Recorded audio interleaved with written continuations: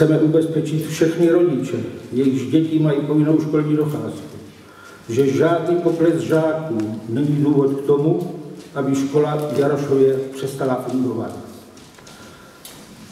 Je to, jen, je to jeden z prioritních cílů obce mít školu, protože je nutné si uvědomit, že vztah ke své obci, v níž žijí, se buduje od prvních kroků, které vedou do života, do školy.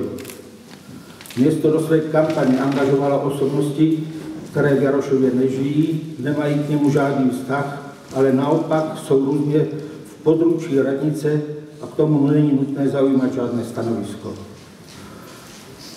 Další argument, lidé si musí vyměnit občanské průkazy, řidičáky a podobně další doklady, čímž jim vzniknou náklady.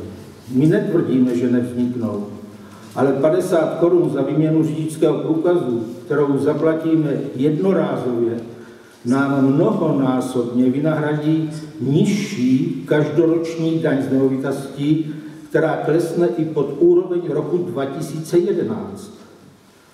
Město jen přenáší svou neschopnost hospodařit s penězi na své obyvatele nadbytečnou daňovou zátěží, jako je 100% zvýšení daně z nemovitostí nebo chystané zvýšení poplatku za odvoz komunálního odpadu. Úkolem připraveného výboru, výboru bylo a je připravit a spolu podílet se na referendum, dát občanům možnost, aby si sami zvolili další budoucnost své obce. Příznicí odpůrce, odpůrci odtržení mají stejné právo se v referendu vyjádřit. Vedení města napadá přípravný výbor, že nemá žádné vize, co ze samostatnou obcí bude. Slyšel snad někdo na setkání dne 26. dubna, které svolalo město, že byla přednesena nebo alespoň nastíněna nějaká vize Jarošova ze strany města? Již třetí volební období se hovoří o vybudování sportovního areálu na Jakářích. Kam tato vize města dospěla, vidíme všichni. Není nutné podotýkat, že město na to má prostředky i lidi, aby mohlo plánovat a připravovat projekty pro rovnoměrný rozvoj všech částí města. Bohužel se tak neděje. Mnohdy jsme se cítili jako psanci, jako bychom prováděli nějakou protistátní činnost nebo něco na ten způsob. Ale chci všechny ubezpečit, že přípravný výbor se po celou dobu držel litery zákona. Oddělení od města je ryze demokratická záležitost a právo občanů. Je zcela zřejmé, že od nás očekáváte, že vám nastíníme i další budoucnost samostatné obce. Pravdou je, že vše je odvislé od finančních možností.